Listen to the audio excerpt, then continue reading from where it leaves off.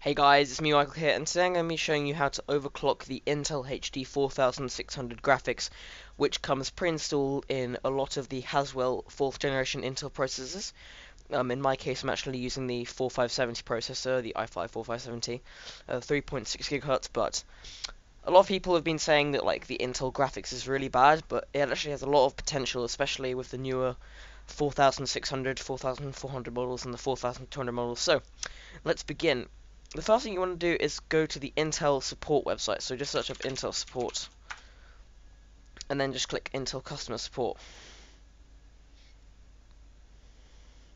And now you'll have this whole thing here.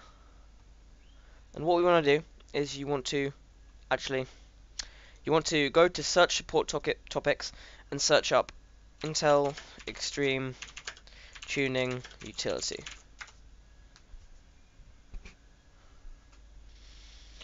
Now you should come up with a bunch of um, results. And you should just scroll down. You sorry you should click downloads actually. And then you should scroll down until you find the latest version which for me is 4.3 just make sure it's um, compatible with your operating system so Windows 7 Windows 8 for this one. And then just download it. Make sure you press I accept and then it will start downloading automatically and I've already downloaded this so I'm not going to show you but after you've downloaded it simply run the installer and it's just like installing any other program. There's nothing special about it. But after you finish the install go ahead and open up the Intel Extreme Tuning utility. It should if you've pretty much done all of the default installs go straight to your desktop but you may need to search for it in the search menu. So this is a great program. It pretty much allows you to monitor and change all of your CPU and GPU options as long as they're Intel. So if you want to overclock your core, you just press core up here, and then you just press I agree.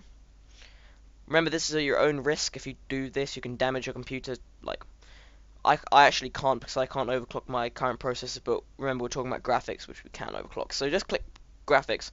And now, the thing we want to be changing is this processor graphics ratio limit. Now, I find that the most I can go up to is about 14,000 megahertz, so 1.4 gigahertz.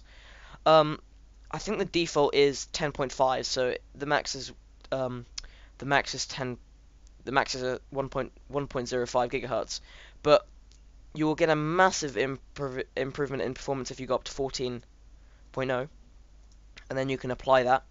Um, yeah, I'm. This is perfectly safe. It didn't really increase my uh, CPU's temperature by too much and I can run most games as long as I'm putting them on low settings at like 90 FPS. I can I can even run Skyrim on high at like 40 FPS, so it's great. And a lot of people underestimate the power of these little um, integrated graphics, but yeah, it's just showing you how to get more out of what you've got in your processor, and also just shows that you don't really need to go buy a really expensive graphics card. Although it will be better, I'm just showing that you can do well with uh, Intel HD graphics.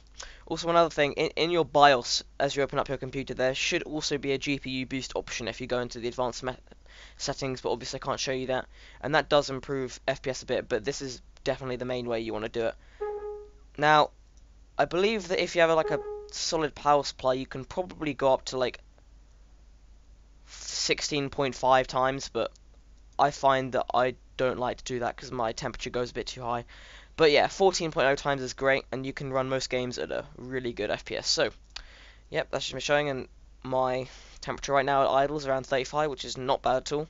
So yeah, anyway, thanks for watching, guys. That's how to overclock your Intel HD 4600 and any other Intel HD graphics card. Alright, see you later, guys. Bye.